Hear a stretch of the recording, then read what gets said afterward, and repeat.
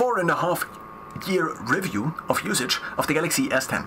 So I got the Galaxy S10 in 2019, it came out half a year before. I decided to, instead of getting another camera, which I well, I did not have a camera because I broke the old one.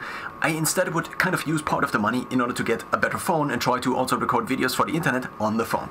It was a big bet, but it kind of worked out, so the Galaxy S10 surprised me really much with the camera quality. It was kind of the first phone that actually had a very good camera in my eyes. Previously I had the HTC Desire Eye, I also had the HTC Desire X, and before that I had Sony Ericsson phones, which, well, had Sony Ericsson cameras.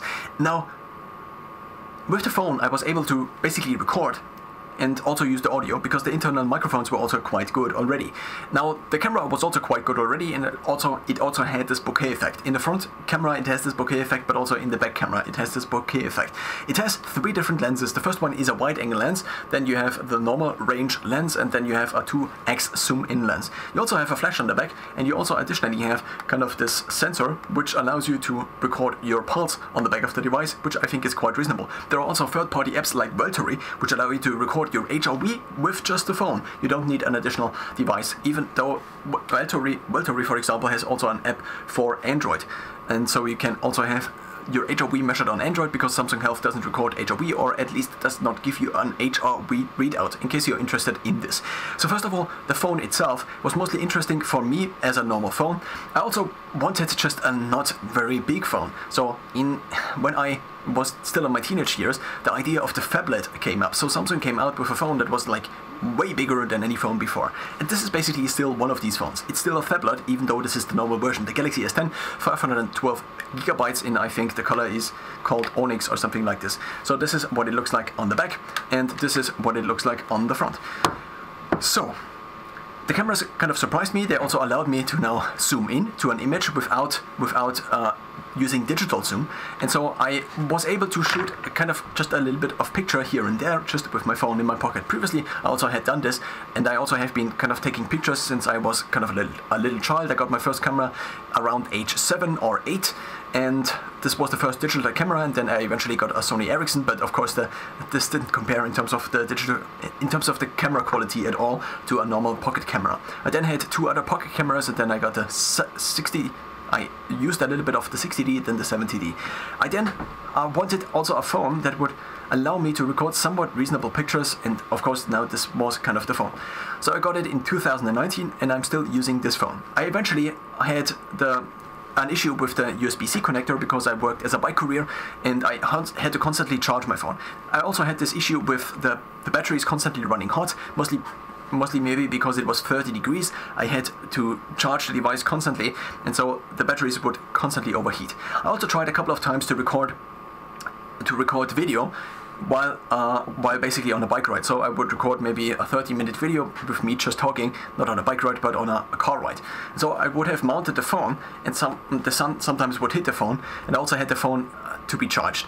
Now there is also this problem if you have the phone charged at the same time as using basically the, the headphone in. And this is also a big upside of this device, that it has a headphone in. So this is also a microphone in, which means that you can have the device, in theory, at least charged at the same time as also recording audio through this.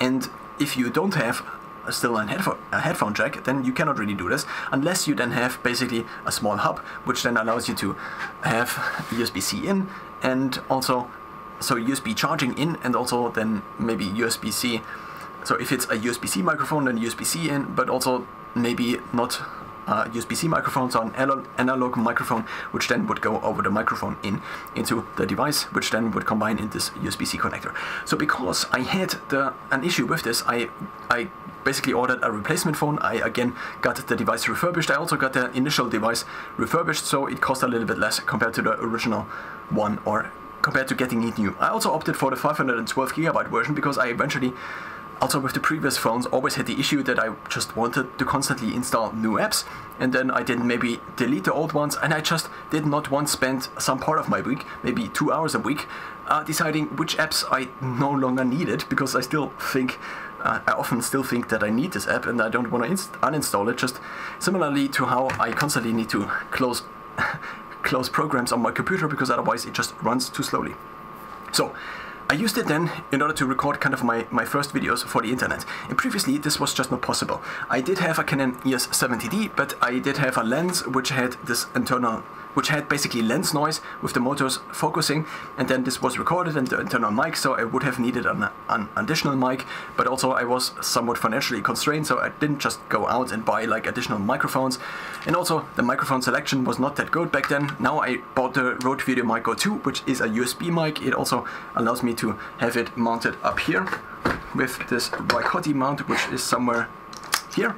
And I also am using it as of currently as a USB microphone and well to record videos. Now the front camera does not have it does not have basically different angles. Now it it has two different software angles so it allows you to also record portrait and also basically the portrait mode after I got the, the device initially the portrait mode only was available for the back but with now the device also then after a software update being able to record portrait mode in the front I was now also able to for example record myself in a car and have the background blurred which was kind of a thing that was very useful I would have to say because then you can just blur the background and it doesn't really matter so much where you are and this was, I think, quite a useful feature. I used it for a couple of videos. The problem was that it was not very consistent. So if sometimes a car drove by, then the car would actually kind of be visible and I wanted not to everybody to know where I actually was driving. And so I eventually deleted these videos. Nonetheless, at least in theory, this now was possible. And also now, because I had this feature, and because I also used it sometimes, Actually, on a couple of the first videos I posted, I got often questions about, not often, a couple of questions I got about the camera, which I would be using, and I answered it is just my phone, and I am using this, and it makes it look like it is actually kind of a professional camera, because we associated the look of the blurred background with a professional camera. And it also just had a very reasonable look, also in terms of low light performance. Now I am using video lights, and I also have been using video lights mostly, but also if I um, somewhere else, it just is somewhat reasonable, I would say. The low light performance I actually would say is better compared to, my Canon EOS M50 with a similar with a similar focal uh, length on it. What also is quite useful is the dual speakers, so it has a speaker at the at the bottom and then the second secondary speaker is here. It also, I think, has two microphones, so it has a microphone, I think the first one is up here, and the second one is down here.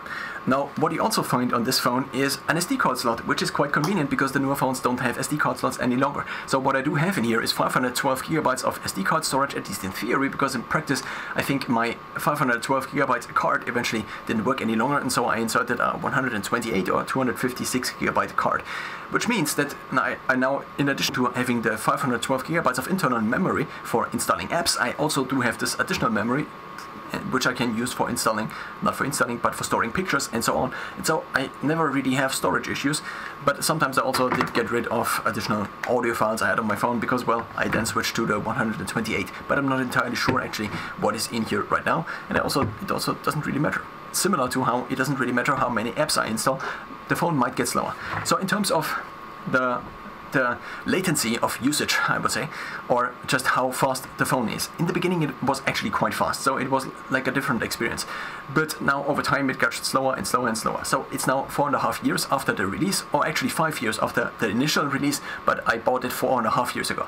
So in the beginning, so there is this quick basically you can have the camera quick launch if you double press the power button and in the beginning it would kind of be like this and then it would launch right away and so in the beginning I used this constantly, but now because there is this latency and also if you power up the phone, it often takes one or two minutes for the phone to actually react at all to what you're doing. So if you want to open up apps and so on and so forth, you power up the phone and then you have to wait for one or two minutes. While this might be kind of a big downside, there is also, I think, an upside to this, which is kind of that this is more and more turning into a dumb phone, which is still having, which is still is having a somewhat reasonable camera. In terms of the camera experience, in the beginning, the, the photos were often sharp, they were clear, and now if I'm taking even pictures outside, what I often find is, I think due to the latency, uh, is that I take a picture and then afterward I see that every third picture I actually took is kind of completely blurred. And I think what the reason why this is the case is that I take the picture and I kind of assume that the, the, the, phone already has taken the picture, but because of the increased latency it now has after now four and a half years, there is just an element of, well, there is a longer duration between me thinking that I take the picture and then I already pack the phone away and then it's basically the image is blurred. So I took a picture of a couple of trees because there was this thing on the outside that fell off and I found it interesting and one third of the pictures were were not usable. Sim a similar situation would be if I'm in the grocery store and I, I, and I take a picture of the macros on the back of a product and then one third or maybe sometimes even half of the pictures are just not usable and I still have not adapted and maybe I also don't want to wait five seconds or something like this for the phone to take then a picture. This is kind of a very big downside and it has kind of reduced using uh, it has kind of reduced my phone usage, not my phone usage, but my usage of this phone as a camera outside, just when taking pictures. And well, often also if you want just want to take a quick selfie with somebody and then you have it up there and it's just like, hello, are you still there? On the on the upside though, the more my phone is using, so it depends of course what my phone usage is. If my phone usage is actually quite healthy, then well, it would be very useful if my phone is actually kind of better and also has more computational power or, or would have less latency. But then, because there seem to be companies that kind of uh, compete for the, my phone real estate, kind of for the space or for the display of, well, whatever they want to display in my pocket, more and more I am thinking that maybe that's actually also to a certain extent at least a feature. That I have kind of a more and more slower phone, which means that I am I basically am incentivized to use my phone less. Now, if I want to take a picture, then, well, that's not that great. If I also want to, standing in front of a packing station, station and I just want to open up email, the email loads for 45 seconds, or sometimes 60 seconds or something like this, then it's also not that great.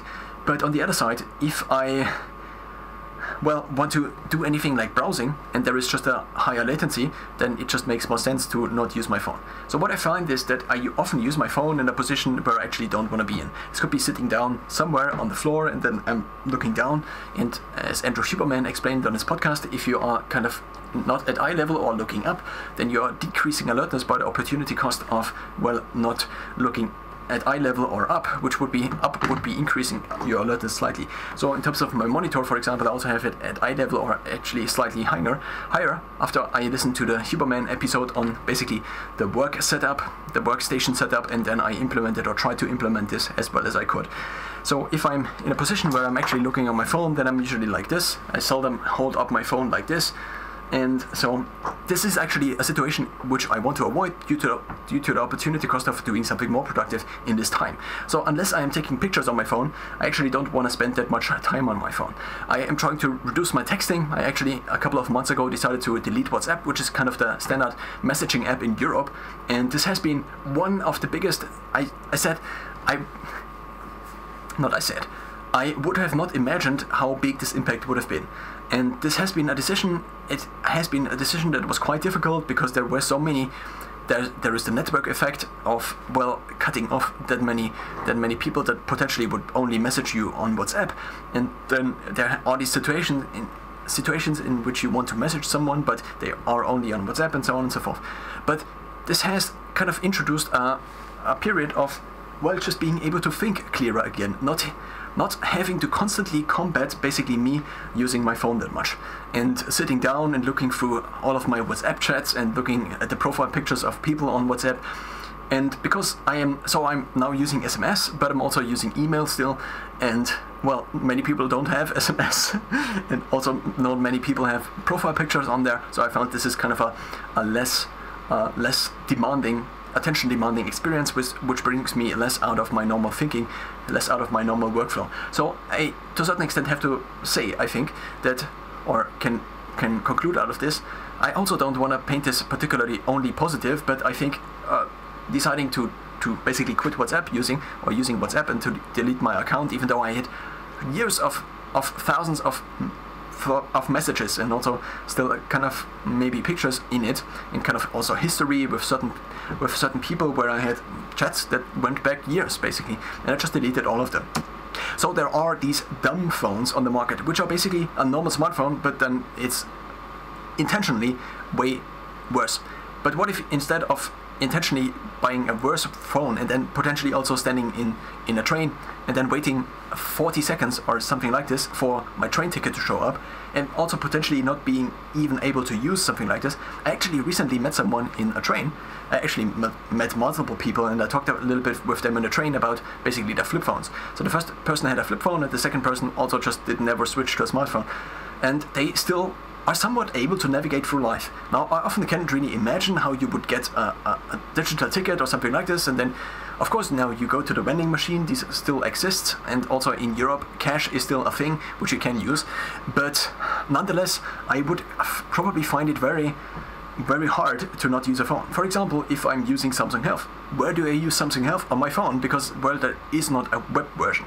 And for many apps, there are not web versions available. And so this meant that I would not be able to use that many apps. But then again, also, before I had a smartphone, I actually did also do things. I also was able to do banking, for example, without my phone. And if I do banking, for example, on my phone, then on my phone it's potentially worse than on my computer. On my computer, I think that I usually have kind of a more rational approach to doing things, whereas on my phone, I often am more impulsive. Maybe also due to the other social media apps that for some periods of my life were installed on my phone. I sometimes used to watch YouTube videos on my phone. I decided that this was not really a good idea, but then the other alternative would be to watch on my notebook. Now, this is not so much about the Galaxy S10 anymore, which I realized, so I think I will cut this thread about using potentially my phone less or trying to incentivize myself to use my phone less at this point in time. It is a device I think that still holds up quite well. Apart from the processing power, apart from the camera, which is mostly I think due to the due to the limitation or the increasing limitation in processing power and speed and latency is becoming worse and worse.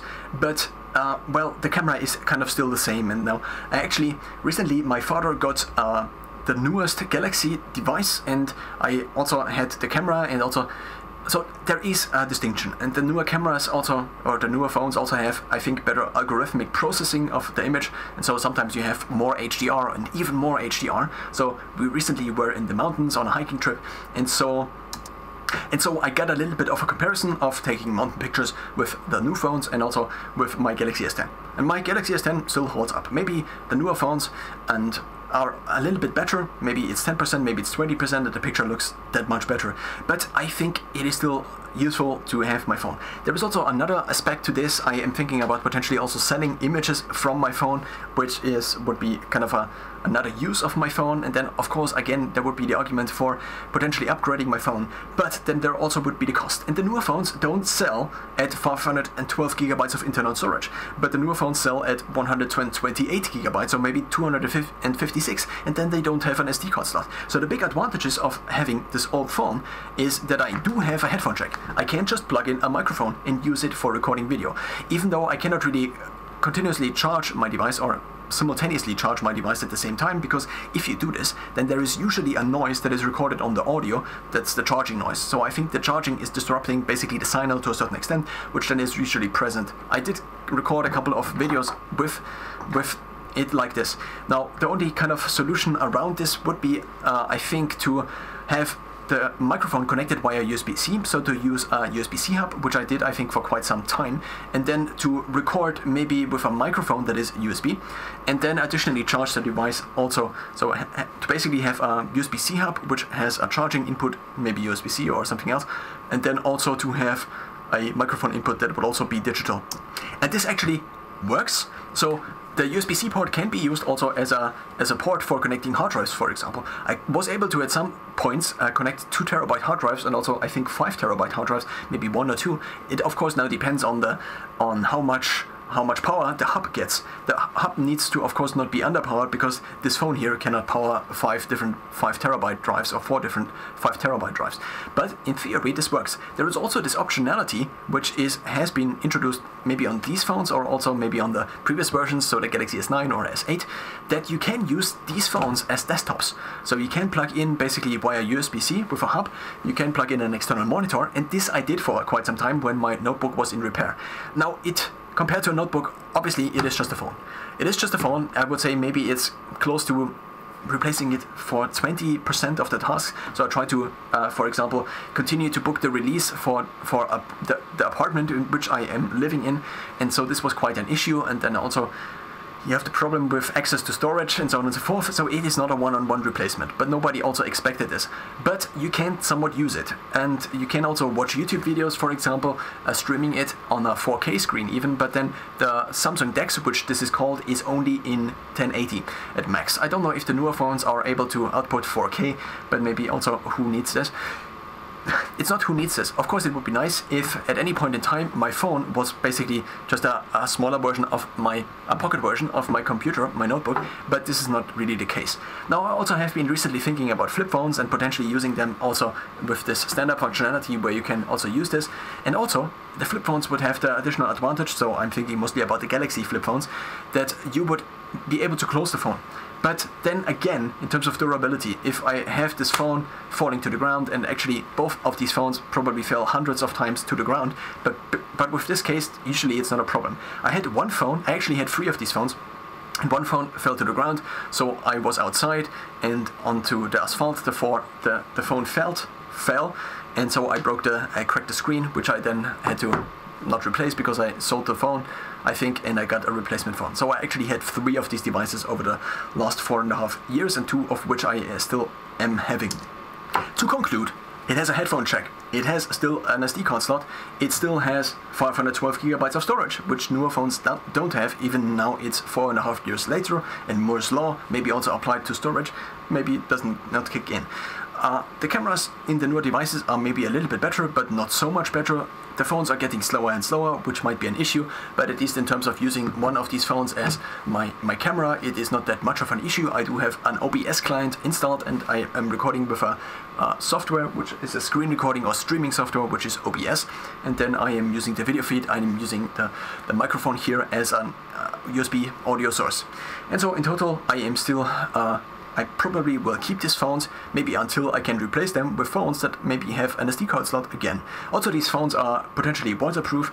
I did never test this fully. Uh, I did test uh, the waterproofage or the waterproofing with a previous device, which was the HTC Desire So I went to a swimming pool, and after 20 minutes, basically the device was out for a couple of months.